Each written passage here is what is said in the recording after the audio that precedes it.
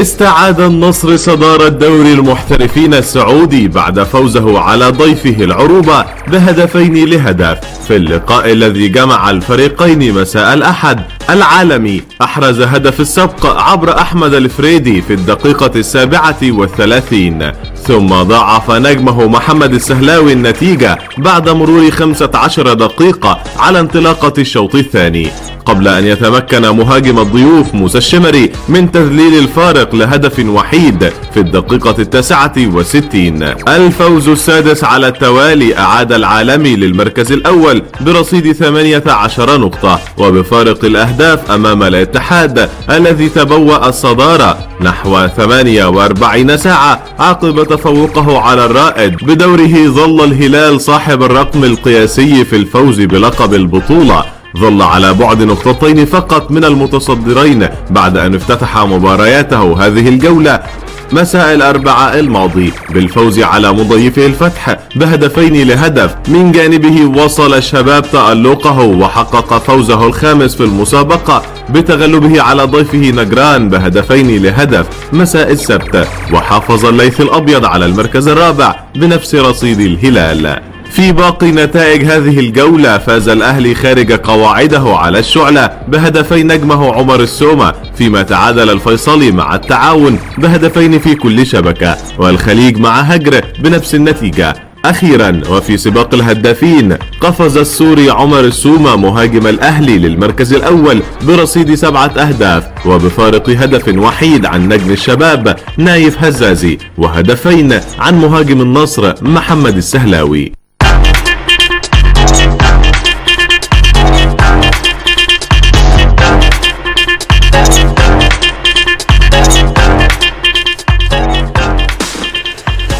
أهلا بكم من جديد أعزائي المشاهدين. هي من الحاجات اللي زعلتني قوي هي إصابة اللاعب أيمن أشرف لأنه أيمن كان بادي الموسم على أجمل ما يكون وأحسن ما يكون وكان تحت رادار المنتخب الوطني لكن قدر الله وما شاء فعل.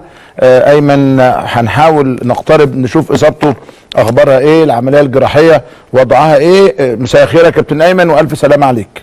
نور إزيك يا كابتن؟ إزيك يا حبيبي عامل إيه؟ الحمد لله تمام الحمد لله. طمنا عليك دلوقتي.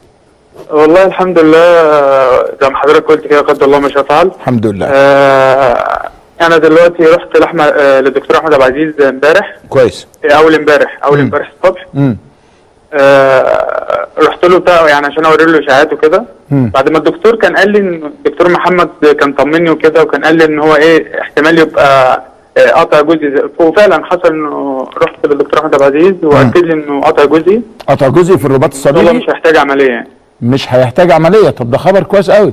آه الحمد لله. يعني أنت لست بحاجة لعملية الرباط الصليبي؟ آه الحمد لله. طب يا ما أنت يعني هو قطع. جزئي في الرباط الخلفي هو صعب شوية في بيقول لي هو صعب شوية في التأهيل وكده. وفي العلاج الطبيعي. آه، هناخد شهر ونص كده علاج طبيعي يعني مع بعض وبعد كده أشوف أشوفك تاني وكده. شهر ونص. شهرين يا آه. سيدي. وانت حظك كويس في حوالي 15 يوم توقف عشان المنتخب كمان. آه الحمد لله. والله دي حاجة يعني بحمد ربنا عليها يعني. الحمد لله. طيب أسألك الورم في الركبة عامل إزاي دلوقتي؟ والله وما حصلش ورم إلا حاجات بسيطة خالص من ساعة ما ده, ده مؤشر كويس. ده مؤشر آه كويس الحمد لله. آه. بس هو الألم بس في في ال- في المشي حاجات بسيطة كمان يعني. أنا بس الألم هدي جدا على الأول. آه الحمد لله. هدي جدا الحمد لله. آه آه. طيب. آه، بس وأنا شغال دلوقتي مع الدكتور حسام الابراشي. حسام الابراشي ممتاز. آه, آه, آه. شغال معاه. آه. آه وأنا أنا دلوقتي في الطريق رايح له. آه. تمام؟ آه والحمد لله يعني ماشيين بقالنا تل... يعني النهارده ثالث يوم اهوت. آه ماشيين بشكل كويس. الحمد لله. أيمن انت مقيم في القاهرة بصفة دائمة أصلا؟ لا أنا أصلا أصلا من آه، مطرية دهليه آه. آه بلد كده مدينة جنب المنصورة. آه، انت آه. تعرفان يعني؟ أنا من طنطا انت هتهزر ولا إيه؟ قول لي. نعم. أنا بعرض لك الاصابة على الهوا حظك وحش الوقعة كانت صعبة شوية. آه الحمد لله. يعني هي الخطة الخطة كانت قوية جدا. مم. و آه، وحمودة اللي هو اللي خبطني ده واتكلمني يعني اعتذر لي وبتاع. آه، قلت له يعني هي الكورة هي الكورة كده يعني. دي كورة. انت سنك كام آه، سنة هي دي الكورة. إيه، أنا 23 سنة. ما شاء الله يعني. إن شاء الله شهرين ثلاثة حتى وترجع بالسلامة و... ويكون كمان الرؤية اتضحت بالنسبة للمنتخب ويكون لك دور بإذن الله في الفترة اللي جاية أيمن بإذن يا الله رب إن شاء الله ونتمنى أتمنى يعني إن شاء الله آه، التوفيق ل- للكابتن شاوي والزمايل إن شاء الله طيب أنت بادي مع الدكتور حسام قابلت الدكتور حسام الابراشي نفسه ولا مين؟ آه أنا مع مع مع الدكتور حسام الابراشي حط لك برنامج تأهيلي يعني؟ حط لي حط لي برنامج وكده و... طبعا. بصراحة يعني بمناسبة حضرتك كلمتني وكده أنا بشكر طبعا آه، الم- آه، باشمهندس فرج عامر. نعم. آه، فعلا يعني يعني الراجل عايز يعمل لي كل حاجة. يعني هو الراجل عايز يعمل لي كل حاجة. عايز يسفرني ألمانيا عايز يسفرني دبي وعايز يسفرني كل حاجة. بس أنا برضو رأيي إنك تسافر. وهو ده فعلا يا كابتن. يعني أنا أنا شوية كده إن شاء الله بعد ما أخلص مع الدكتور حسام أنا رايح. لكابتن حمادة علشان أو بنتفق يعني إن شاء يعني الله طالما النادي طالما. النادي أيمن مش متأخر رايي إن أنت آه. تسافر ودبي زي ألمانيا يمكن دبي كمان هتبقى أسهل باللغة تعرف تكلم إخواتنا وأهالينا آه يعني هو ال- والمركز هناك يعني ممتاز، خلي بالك. الكابتن حماده قال لي إنه كلم وليد سليمان. آه عشان يسأله يعني ال- المركز اللي هو كان بي- بيتعالج فيه وكده فين في دبي؟ آه آه، في دبي آه نعم نعم فأنا رايح له دلوقتي الكابتن حمادة إن شاء الله في المعسكر وهنتكلم طب يعني طب ما بتسوق آه، ما بتسوقش طبعا يعني. ما بتسوقش طبعا آه لا بسوق يعني رجلي الشمال هي المخبوطة فيها أنا فاردها وبسوق باليمين يعني هل الدكتور ما منعكش من السواقة؟ لا لا ما منعنيش هو برضه من هو قال لي قال لي امشي وعيش حياتك عادي يعني الدكتور أحمد عبد العزيز قال لي عيش حياتك عادي مم. اخرج وعيش حياتك بس خلي بالك بس يعني إيه ما ما تقدمش الشمال على اليمين يعني خلي اليمين هي. يعني. ربنا يجعلنا يا سيدي من أهل اليمين يا رب يا رب. يا رب إن شاء الله. عموما الحمد لله على السلامة. وأنا بفضل تروح دبي. الناس هناك كويسين جدا. وجهزوا عماد متعب بشكل كويس وليد سليمان وعبد الله السعيد. وفي لعيبة خلي بالك من. أوروبا بيروحوا دبي دلوقتي. آه. خليك برضو مع الدكتور حسام الإبراشي. الدكتور حسام الابراشي ومساعده الدكتور إبراهيم. ومعاونينك أكثر من صح. ممتازين ما شاء الله. ربنا. يرجعك بالسلامة وإن شاء الله عز وجل ترجع سالم غانم الملعب أيمن بإذن الله. يا رب شكرا. أشكرك أيمن شكرا جزيلا. الاعتذار موجود ما تحطوا لنا كده على الشاشة بتاع آآ آآ خلاص. مصراوي اعتذر كابتن أحمد حسن عميد لاعب بس خلاص انتهى. شكرا جزيلا. أتقدم موقع مصراوي آه، باعتذار لنجم المنتخب القومي السابق أحمد حسن عميد لاعبي العالم على الخلط الذي حدث نتيجة لتشابه الأسماء بينه آه، على الخطأ الذي حدث نتيجة تشابه الأسماء بينه وبين لاعب النادي الأهلي السابق ويؤكد أن الخطأ غير مقصود. تمام تمام. خلاص زي الفل. تمام. كده خلاص. وده برضه دورنا كإعلام أنا كنت ممكن أفضل أقول له بقى ولا أو ما ينفعش مواقع بتبوظ الدنيا. ده كلام مش مظبوط وغير منطقي وغير معقول وغير مقبول. على الاطلاق إحنا كلنا في دايرة واحدة وكلنا في بلد واحدة اسمها مصر في آآ آآ النهاية. طيب شوفوا القرار ده معايا على الشاشة عشان تعرفوا إن البلد دي بدأت تمشي صح. قرار السيد وزير الشباب والرياضة رقم 137 لسنة 2014 الصادر بتاريخ 28 9 2014 وزير الشباب والرياضة باطلاع على القانون رقم كذا وعلى قرار رئيس الجمهورية رقم كذا وعلى قرار رئيس الجمهورية رقم كذا. آه قرار رئيس الجمهورية الأخير ده مهم قوي رئيس الجمهورية رقم 286 لسنة 2014 وده ده مهم قوي آه بتفويض بعض الوزراء في اختصاصات رئيس الجمهورية. المنصوص عليها في قانون نظام العاملين بالدولة وعلى قرار رئيس مجلس الوزراء آه رقم كذا لسنة 2014 عشان يختار السادة معاون الوزراء يعين السادة الآتي اسمائهم بعد لشغل وظيفة معاون وزير الشباب والرياضة دون أن تخصص لهم أي مخصصات يحتفظ كل منهم بالمعاملة المالية الحالية لمدة عام. يعني هم جايين يتعلموا. معاون وزير دي حاجة مش مش قليلة. محمد محمد عبد المجيد الشاذلي للشؤون الشبابية. ريهام رأفت مصطفى محمد للشؤون الشبابية. يوسف محمد الورداني للشؤون الشبابية. أحمد محمد مصطفى آه للشؤون الرياضية. داليا محمد رضا عبده علي للشؤون الرياضية. أحمد حمدي أحمد عزمي للشؤون الرياضية. يعمل بهذا القرار من تاريخ صدوره على الجهات المختصة تنفيذه ويلغى كل ما يخالفه وزير الشباب خالد عبد العزيز. طيب هي كانت في لجنة برئاسة المهندس خالد عبد العزيز دكتور أشرف صبحي دكتور عماد البناني واستقرت على الستة دول. آه، أجمل ما في ال- القرار ده إنه في اتنين بنات ريهام وداليا. وكمان انه مقسم شؤون شبابية وشؤون آه، رياضية ثلاثة وثلاثه أجمل ما فيه إنه البلد رايحة في سكة الشباب. أجمل ما فيه إنه الناس بتقول كلام وبتنفذه دلوقتي. يعني آه خلاص ما عادش فيه آه إن تقول كلمتين والشباب والبتاع وتلاقي في الآخر كله آه كلام في الهواء. لا ده كلام بجد. ده كلام بجد. وبيحصل بجد. وادي الستة اللي في الشباب اتعينوا. وده خلي بالكم في كل الوزارات. يعني بعد سنتين أو ثلاثة أو أربعة هتلاقي حد من دول وزيرا للشباب. أو نائبا لوزير الشباب أو مساعدا دول معاونين دلوقتي أو مساعدا لوزير الشباب. خاصة إن هناك كوادر يقدروا يتعلموا منها وده الاجتماع مع رئيس الوزارة. رئيس الوزارة آه، آه، قاعد مع الشباب الجميل ده وزير الشباب قاعد مع الشباب الجميل ده. ده أمر جميل جدا وبشكر الحقيقة آه، إخواتنا في الإعداد قولوا لنا موقع إيه اللي منزل عشان نشكره الحقيقة على فيتو. أشكرهم شكرا جزيلا الحقيقة. أدي ال- آه، رئيس الوزراء المهندس إبراهيم محلب أدي وزير الشباب آه، والرياضة المهندس خالد عبد العزيز الدكتور أشرف صبحي دكتور عماد البناني وأعتقد ناس من مجلس الوزراء ثم الشباب اللي زي الورد. ده بقى اللي هيفتح جنان مصر بجد. واللي في الشارع دول لازم يعرفوا إنه أي حد منهم ممكن يبقى مكان دول. تاني أهو لازم يعرف إنه يبقى مكان دول. واللي داخلين الجامعة بكرة وبعده لازم يعرفوا إنه ممكن يبقوا مكان دول. وانه سيبكوا بقى من الكلام الفاضي المولوتوف والضرب ادي الصور الحلوة الجميلة في مجلس الوزراء وكأنها وزارة جديدة وكأنها وزارة جديدة شيء رائع جدا. أنا بس هقول كلمة يعني آه، مش مقصودة يعني يعني آه، أنا عارف إنها آه، بس لازم أقولها. كان نفسي يكون فيهم حد مسيحي. كان نفسي حقيقة. كان نفسي يكون حد من الستة مسيحي. مش لحاجة. أكيد في كفاءات وأنا عارف إن هم اختاروا أفضل الكفاءات. بس أنا بتكلم عشان الوزارات المقبلة. عايزين يبقى شعاراتنا بنشتغل بيها ما يبقاش شعار بس. ما نقولش وحدة وطنية ما بنعملهاش. أنا عايز أنا عايز مساعد وزير أو معاون وزير يكون مسيحي. ده مهم جدا لأنه ده مهم في الفترة القادمة في مصر. جميل إنه شباب جميل إنه بنات جميل إنه في طموح جميل ان في أمل. لكن كمان إن أنا عايز أترجم كل ما آه، بيقوله السيد الرئيس والسيد رئيس مجلس الوزراء والسيد الوزير لأن أنا أنا مش من آه، مش من أنصار أحلامك اوامرك يا سياده الر- الرئيس. لا لا لا لا لا. تناقشوا معاه. أنا النهارده كان عندي مكالمة هامة جدا الصبح هقول لكم عليها مع وزير التعليم العالي آه، في الإذاعة الصبح. لكنه عايز أقول لكم إنه لا لازم لازم. واحد على ستة. واحد على ستة. يكون موجود.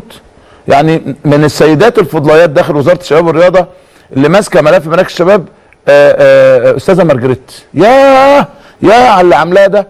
يعني وبعدين لما كنت مع المهندس خالد عبد العزيز قريب في طنطا هو بيفتتح المنشآت هناك وكان مركز الشباب العجيزي بتاعنا في طنطا. وده حاجة أنا هفضل أفخر بيها بنفسي ولبلدنا طول وقتنا يعني. آه، فبنتكلم عن مراكز الشباب فكانت مدام مارجريت موجودة فقلت له الست دي قال لي ما أقدرش أتحرك من غيرها في الشباب.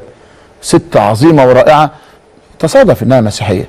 بس أنا أنا عايز يبقى توجه دولة. أنا بتكلم صح ولا غلط؟ حساس الموضوع شوية؟ خالص. حساس إيه؟ أنا مش عايز أقول فريق عملي هنا أو في أي حتة. ده مهم ده مهم جدا. يعني أرجو إن إحنا ناخد بالنا من ده.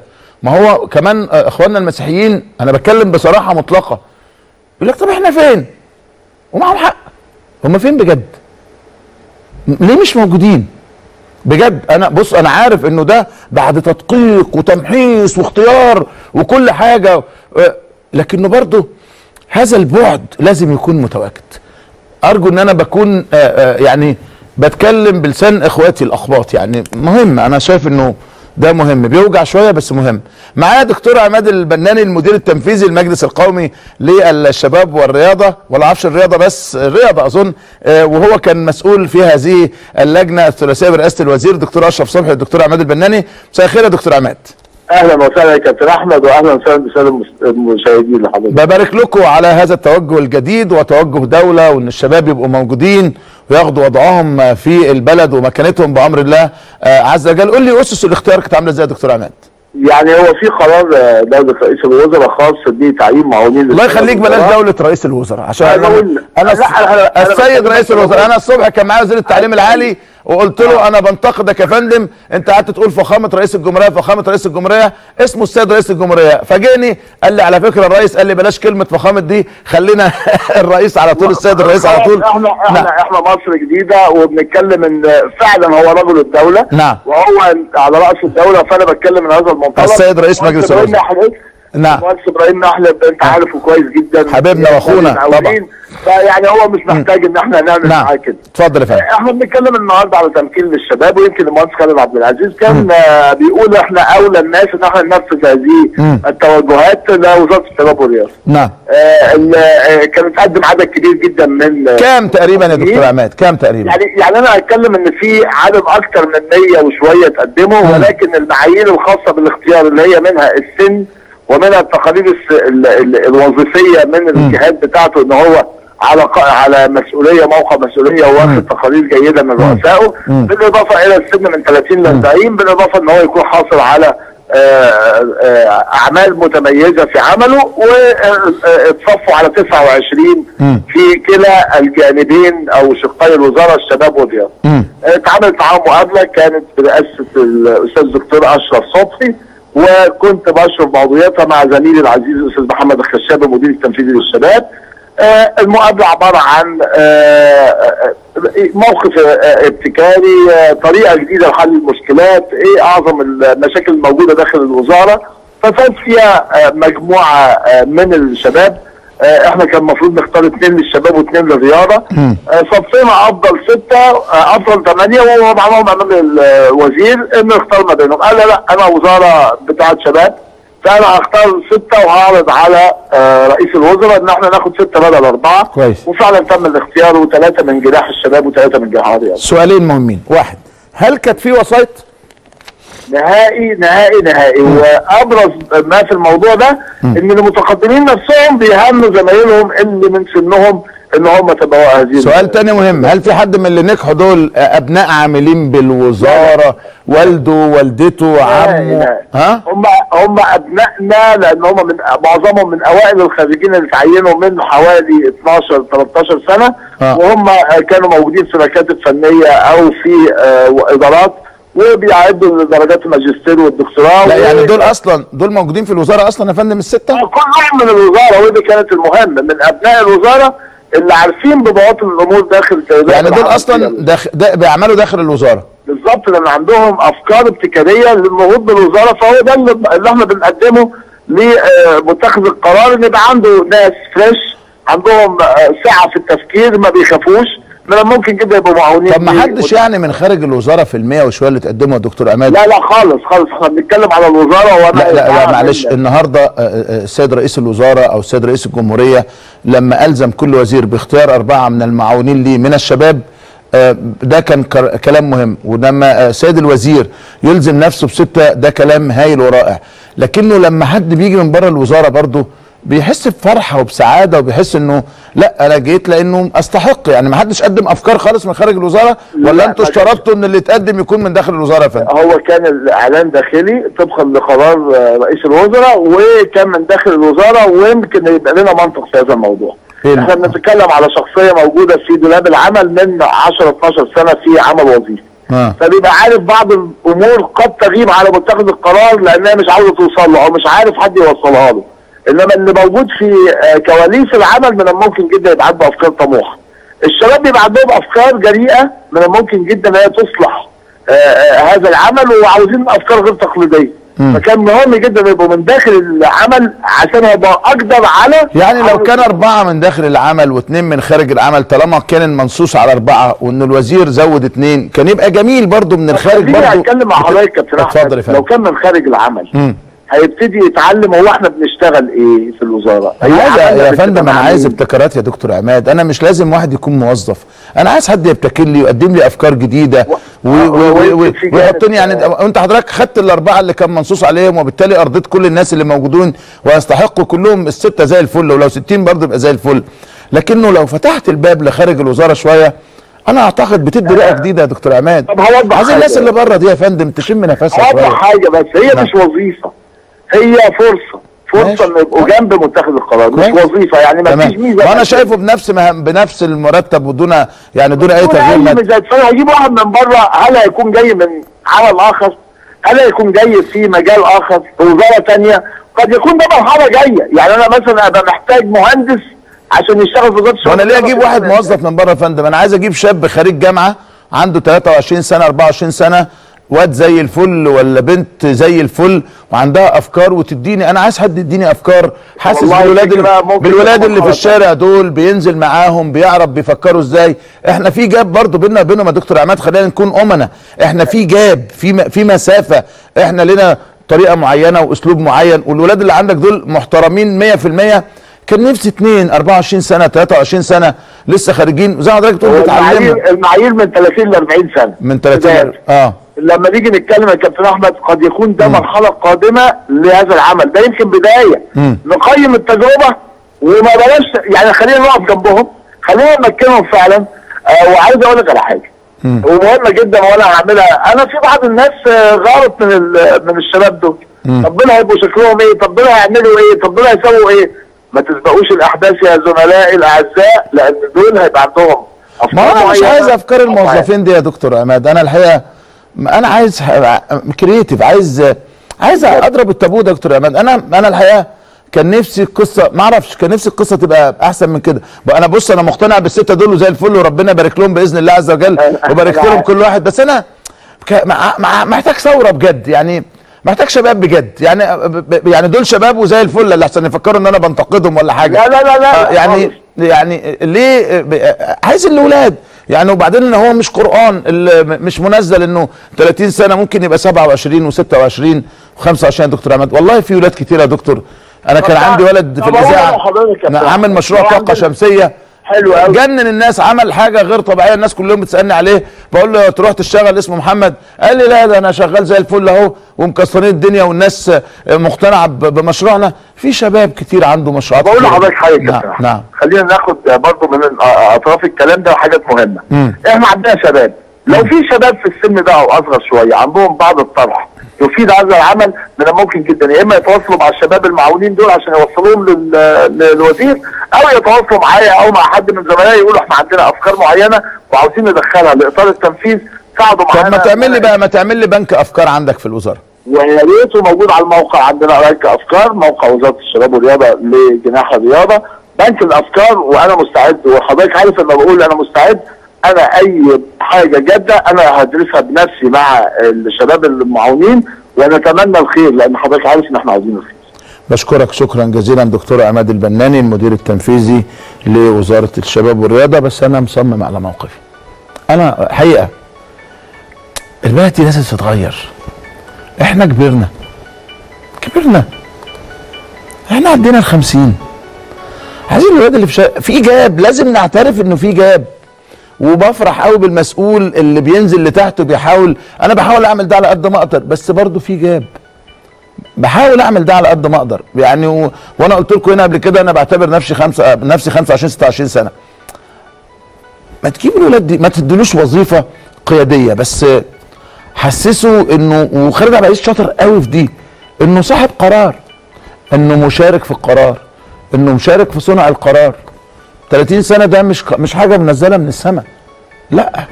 ده قرار وزاري يتعدل. إيه المشكلة؟ في قرارات جمهورية بتتعدل. مش مشكلة.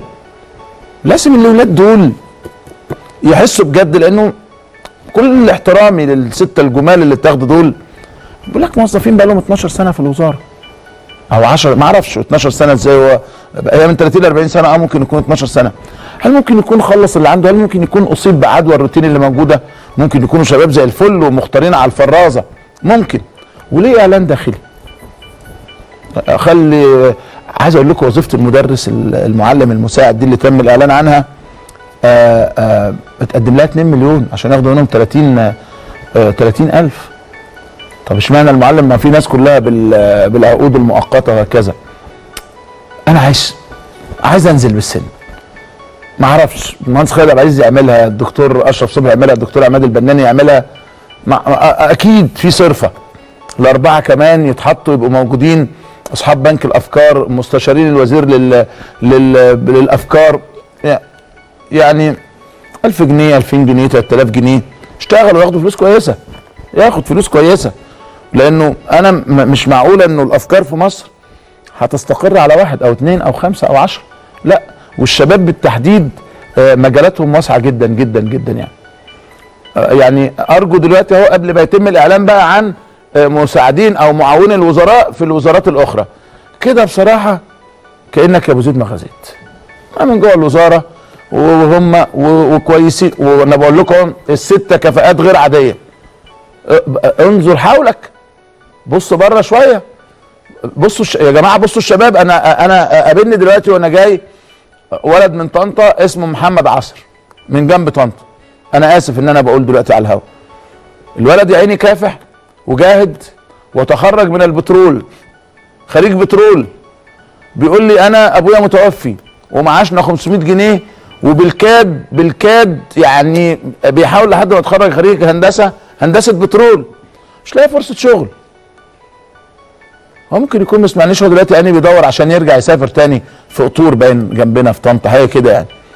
أنا بس عشان اسمه في, وداني كان واقف زميلنا محمد عطية معانا مدير الإنتاج وقعدنا نبص وقعدت إن أنا أحاول أعمل له حاجة لأن أنا بطلت قصة الشغل والحاجات دي من زمان. مثلا حاجة كده أنا ما بقولش يبقى معاون وزير أنا ده ده فرصة عمل عادية. ما يخرج خريج هندسة بترول يعني جاب في الثانوية العامة قد كده وذاكر وطلع عينه قد كده عشان يشتغل وعشان وعشان وعشان. فأنت النهارده بتقول لي معاون معاون وزير. فأنا أنا بقولها صرخة على الهوا أهو. هات يا سيدي من جوه الوزارة ثلاثة ومن بره الوزارة ثلاثة أو طالما الوزير ال ال ال الشباب سن سنة حسنة بدل أربعة يبقوا ستة هات أربعة من جوه الوزارة واثنين من بره. حسب حاجة الشغل حسب الكفاءة. ويا ريت الوزير اللي يقابلهم. مش هيبقى فيه مشكلة إن الوزير يقت- يقتطع من وقته ساعة أو ساعتين ولو انهم بقوا مغاليين جدا دلوقتي عشان يشوف الناس دي. قصة فخامة الرئيس الحقيقة أنا امبارح تابعت ال- بالليل آه، آه، حفل الت- تكريم الأوائل وكان حفل تحفة الشياكة والأناقة والنظافة كل حاجة زي الفل. وأعجبت جدا بكلمة وزير التعليم العالي أعجبت جدا. راجل بيتكلم من الذاكرة وقوي وما شاء الله. بس الحقيقة لقيته أربع مرات أو ست مرات فخامه الرئيس فخامه الرئيس فخامه الرئيس فخامه الرئيس. بعدين لما جه المهندس خالد عبد العزيز وزير الشباب والرياضة فخامه الرئيس فخامه الرئيس. وشفت ال ال الدكتور خالد حنفي وزير التموين اللي عامل شغل رائع. يعني هم الثلاثه الوزراء دول هايلين بصراحة يعني. برضه فخامه الرئيس فأنا قلت في توجه ولا إيه؟ فكان معايا وزير التعليم العالي الصبح قعدت أكلمه في قضايا كتيرة جدا. قلت له يا فندم في توجه عندكم تقولوا فخامه الرئيس ولا إيه؟ قال لي لا. قلت له أنت عمال تقول فخامه الرئيس والوزير الثاني فخامه الرئيس والوزير الثالث فخامه الرئيس. الناس ما بتحبش كده. قال لي الرئيس نفسه ما بيحبش كده. قلت له طب بتقولوا عليه سيادة الرئيس السيد الرئيس. لا يقلل ابدا السيد الرئيس سيادة الرئيس. وبعدين يا أخي لا الراجل حابب كده ولا هو من طبيعته كده والأمور ماشية بشكل كويس وزي الفل. فمش عايزين تبقى الدنيا صعبة يعني. فالراجل يعني وافقني في الرأي وقال لي بس هو الرئيس وقيمته قلت له إحنا ما بنقللش ابدا. يعني ما فيش حد حصل عليه إجماع زي الرئيس السيسي. ما فيش حد الناس ملتفه حواليه زي الرئيس السيسي. فأرجو إنه ده الحقيقة كان في يعني كلام محترم مع السيد وزير التعليم العالي فاصل وارجع أفتح ملف اللجنة الأولمبية اللي المفروض عندها اجتماع دلوقتي تمهيدا لأخوانتها بإذن الله عز وجل.